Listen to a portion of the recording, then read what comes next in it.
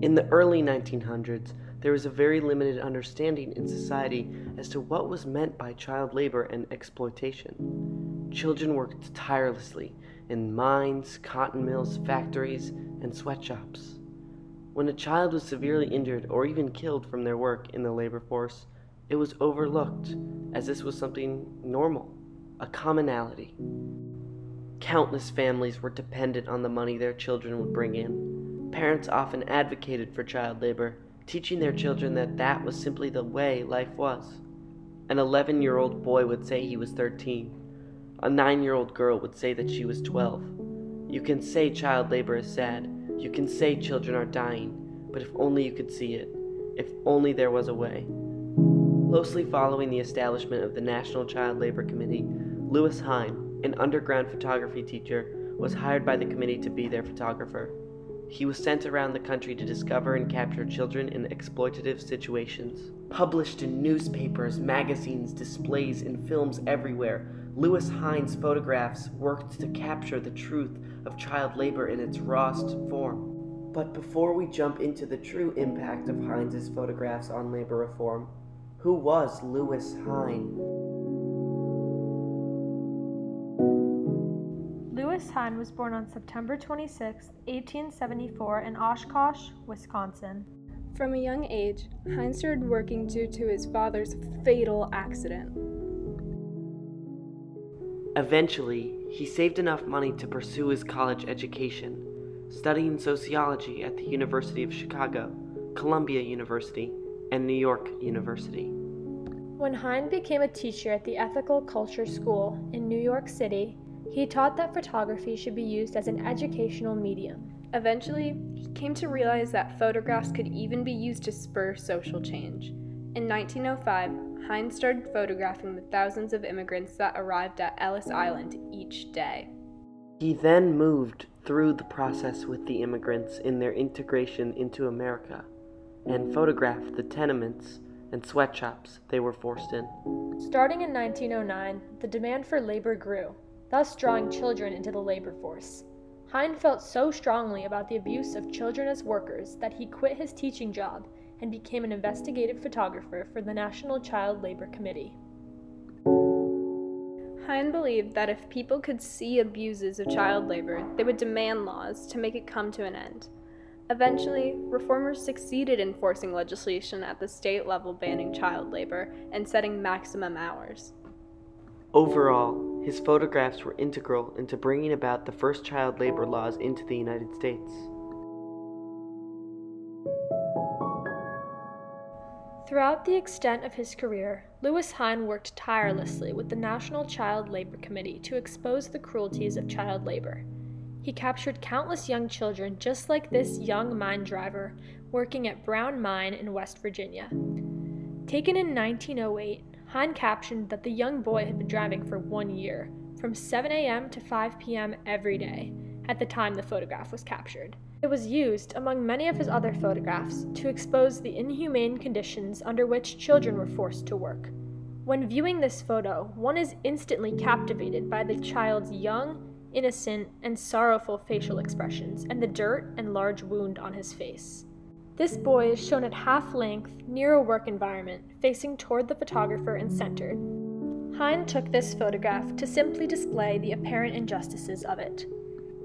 This 1930s photograph, as we see in our classroom every day, shows a group of construction workers perched on a suspended beam hundreds of feet above in New York City.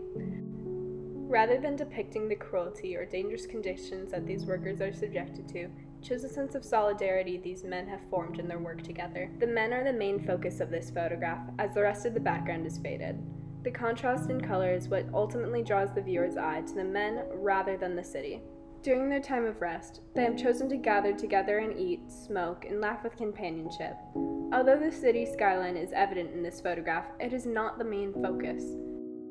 This photograph, taken in 1911, is captioned Maud and Grace Daly, 5 and 3 years old, shrimp pickers, Bay St. Louis, Mississippi.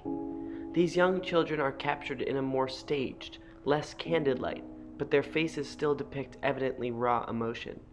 Being of such a young age, these children have no say in the matter of their labor, and know of no other life than the one they live. Through his photographic technique, Hine captured the girls who are shown in sharp focus, looking directly toward the photographer, while the world around is blurry. This is to show the inherent injustices of child labor in a blurred world of maltreatment. This 1908 photograph, titled The Noon Hour, was taken at an Indianapolis cannery. This photograph really demonstrates the amount of children working. It is possible that this was taken during their break. It illustrates within each individual child that within their need to work, they are also probably forming relationships with the other children with which they work. This photograph is clearly staged, but also portrays a sense of rawness, as it is not overly polished and shows the genuine facial expressions of each child. This next photograph, entitled Newberry Mills Noon Hour, demonstrates the expansiveness of poor labor conditions of children at this time. There are of a range of ages, all packed into a small room. You can see the large machinery of the facility in the background. Hine utilized his technique in his photograph as he shows a group of individuals at about the same distance from the photographer in a work environment. The youngest of his subjects have the sharper focus while the facility and equipment is blurred yet still purposely in the frame. This enhances his focus on child labor. Titled Child Laborer, this photograph contrasts the perspective of children and the work they had to do. Hine is illustrating how little girls, just like this one, are being forced to work next to this dangerous machinery. By diminishing this little girl to child laborer, he is emphasizing how each individual child was thought of as a worker and not a person or kid. It is so interesting to see how Hine puts her in the center, the subject of the photograph, as she is drowning amongst the industrial world.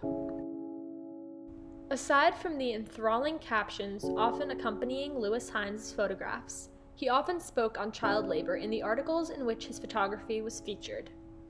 In an article titled The High Cost of Child Labor, featured in a 1914 edition of Child Labor Bulletin, Hine declared, there is work that profits children, and there is work that brings profit only to employers. The object of employing children is not to train them, but to get high profits from their work. This quotation speaks on child labor directly. He essentially is saying that child labor is used solely for the profits of employers and is of no benefit to the children. This directly relates to his motivation in exposing the cruel and injustice of child labor through photography. Speaking on his motivation to expose child labor in its rawest form, Hine once said, There were two things I wanted to do. I wanted to show the things that had to be corrected. I wanted to show the things that had to be appreciated. This quotation demonstrates the passion Hine had for exposing the injustices of child labor. It also speaks to his motivation and drive to use photojournalism as a way to call out the wrongs in our society. In 1984, a movie was made about the life and work of Lewis Hine called America and Lewis Hine. Granted the Special Jury Prize and Distinguished Feature Awards, the film was advertised to be a moving portrait of one of America's greatest photographers. America and Lewis Hine recognized that Hine's work helped establish child labor legislation and is an important part of our national heritage.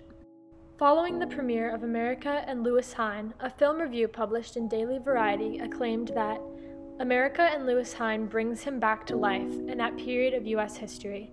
The film combines an extraordinary selection of Hine's photographs with black and white stock foot from early U.S. social history.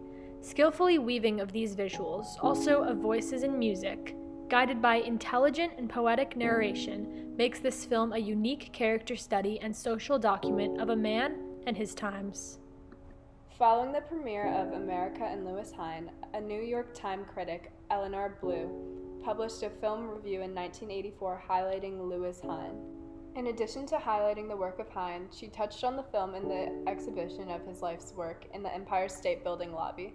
She added to a collection of countless articles, memoirs, and films displaying Lewis Hine and his work. Ultimately, Lewis Hine dedicated his life to helping others while simultaneously changing the environment of the workforce. Motivated by the harsh environment surrounding youth maltreatment, he used his photography expertise to capture child labor in its unfiltered form. Using his gift for the greater good, he shared these photographs in articles and expositions to forever impact the environment within the United States.